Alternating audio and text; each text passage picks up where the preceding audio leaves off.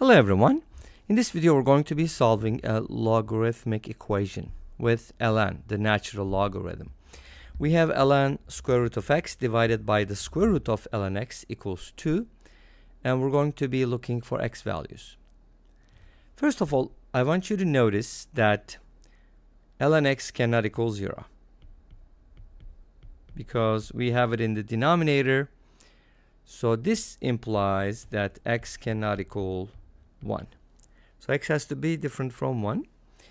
We also have that ln x needs to be positive because it's inside the radical and it's not equal to 0 so I'm just going to use the greater than sign as opposed to greater than or equal to sign.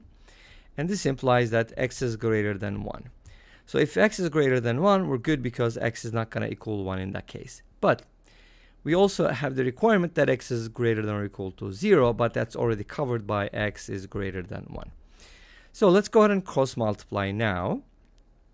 So that gives us ln square root of x equals 2 times square root of ln x. I could write the x inside the parentheses, but it's usually understood ln x means ln x and when x is inside the parentheses. And also when I say ln, ln x means log x with base e. And if I use log, log, that would mean base 10. All right? So those are the notations that I always use in my videos. So after we get to this point, we can go ahead and use properties of logs, such as uh, square root of x can be written as x to the power 1 half. So let's go ahead and do that. Oopsies. 2 times the square root of ln x.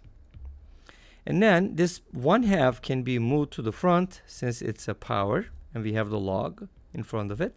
So we can write this as 1 half multiplied by ln x equals 2 times square root of ln x. Now at this point it makes sense if we use substitution, right? Let's go ahead and call this something. How about u? Then we get the following. If square root of ln x is equal to u, then ln x is equal to u squared. Awesome. Then we get the following. 1 half of u squared equals 2u, happy birthday, 2u if it's your birthday. We can go ahead and multiply both sides by 2. u squared equals 4u, and this is a problem for you.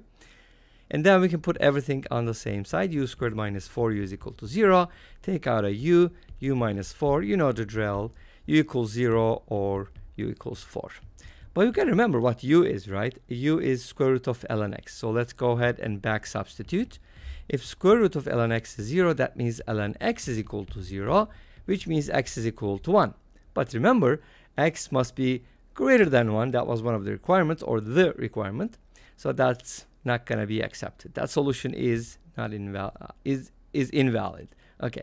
If u is equal to 4, square root of ln x equals 4 and then square both sides ln x is equal to 16 and by using the definition or by doing e to the power both sides we get e to the power ln x equals e to the power 16 which means x equals e to the power 16 as the only solution to this equation. And if you plug it in you're going to see that it works it's valid and all good. Now let's go ahead and take a look at the numerical value of e to the power 16 and we're just going to wrap it up and here's a value for e to the power 16. It's a very large number, obviously. It's about 8,866,110.52051, so on and so forth. It only gives you so many digits, but that's pretty much it. And this brings us to the end of this video. Thank you for watching. I hope you enjoyed it. Please let me know. Don't forget to comment, like, and subscribe. I'll see you tomorrow with another video. Until then, be safe, take care, and Bye bye.